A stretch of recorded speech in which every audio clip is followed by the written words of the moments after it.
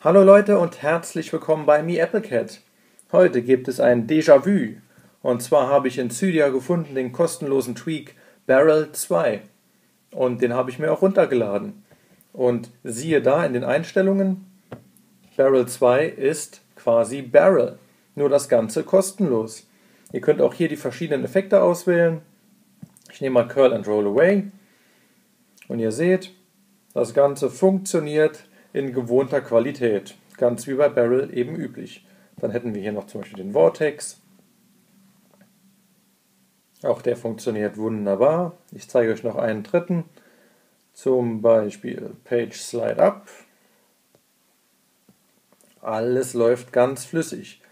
Das ist Barrel 2.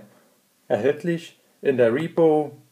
Namen habe ich vergessen, aber ich schreibe es euch unten in die Beschreibung mit rein. Probiert es einmal aus. Barrel 2 kostenlos erhältlich in Cydia. Ich hoffe, euch hat das Video gefallen und ihr schaltet auch beim nächsten Mal wieder ein hier bei MeAppleCat. Bis dann. Tschüss.